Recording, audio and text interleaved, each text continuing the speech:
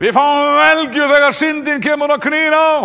Þegar freistari kemur með röddur sína, þá liggum við uppkastum. Við verðum að hata syndina. Má heyra með? Eina leiðin. Eina leiðin.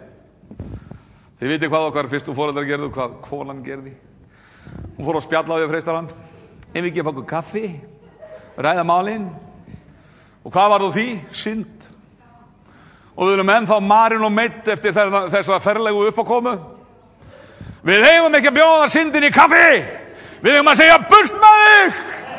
Mér býður við að þú ert viðbjóður. Ég vil ekki þið nálagt húsið mínu. Mæra menn! Við erum að hafa viðurstíð á syndinni. Við erum að hata það.